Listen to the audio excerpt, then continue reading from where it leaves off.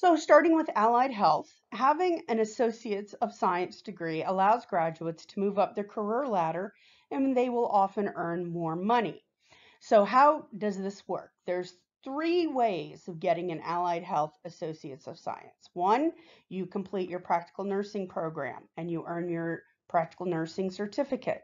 Two, you complete uh, your CMA certificate, so clinical medical assistant.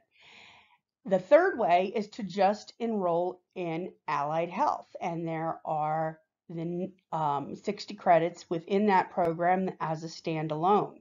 So for someone who is really interested in working in healthcare, they will oftentimes want their employees in healthcare to have higher education um, credentials because as we have seen in other options, um, the more education a person has in healthcare, the better the outcomes for the patients. And that's why things like that tend to be very popular.